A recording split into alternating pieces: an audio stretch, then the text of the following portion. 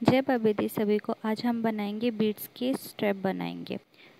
उसके लिए हम मल्टीपल कलर्स के बीड्स रहेंगे, जो भी आपके पास अवेलेबल रहेगा, वो आप ले सकते हो। इसके लिए कोई चॉइस नहीं है, आपके मनपसंद के लेंगे डिफरेंट टाइप्स ऑफ़ बीट्स उसके लिए हम नायलॉन का धागा लेंगे, डोरी लेंगे।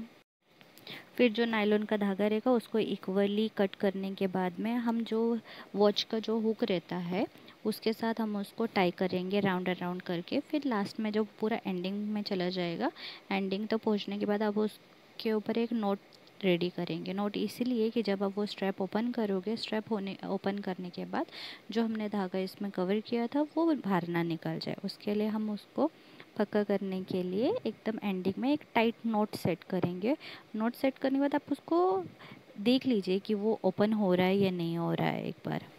फिर हम एक लेंगे डोरी का धागा एंड उसको इक्वल पार्टीशन पे कट करेंगे। आधा मीटर लिया तो भी चलेगा। फिर उसको जो हमने नायलॉन का धागा लिया था, उसके साथ हम उसको टाई करेंगे। एक नोट टाई करेंगे। नोट टाई होने के बाद में फिर हम उसमें ना पाँच बीट्स डालेंगे फ़र्स्ट वाइट कलर के। वाइट कलर के बीड्स डालने के बाद में एक लाइन जैसे रेडी होती है, फिर हम उसके बाद ना चार नोट वैसे ही टाई करेंगे जैसे मैंने इसमें दिखाया है। एक लाइन और दूसरे लाइन के बीच में गैप चार नोट्स का होना चाहिए। ऐसे कर करके हम एट लाइन्स बनाएँगे।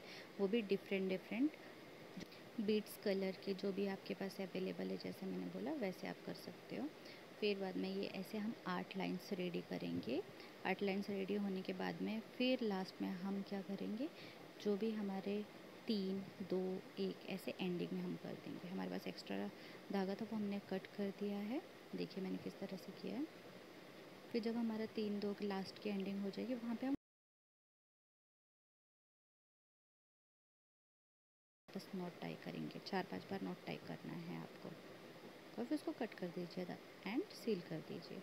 नेक्स्ट दो बीट्स लेंगे एंडिंग के लिए। एंड फिर उसके ऊपर भी हम नोट टाई करेंगे। फिर वापस उसको थोड़ा सा लाइटर से जला के हम उसको सील पैक कर देंगे। फिर जो हमारा स्ट्रैप है, उसके ऊपर हम ग्लू लगाएँगे कि जब हम स्ट्रैप को खोलें तो वो जो स्ट्रैप के थ्रू हमारा धागा बाहर ना निकल जाए। ऐसे करके मैंने दो स्ट्रैप्स बना दिए। फिर बाद में वैसे भी देख लीजिए मैंने किस तरह से इसको बनाया है और वैसे ही आपको लगाना है कि ये बाहर ना निकले। फिर बाद में हम इसका एक हुक बनाएँगे। नाइल का धागा लेना है आपको आधे मिनट, मीटर का।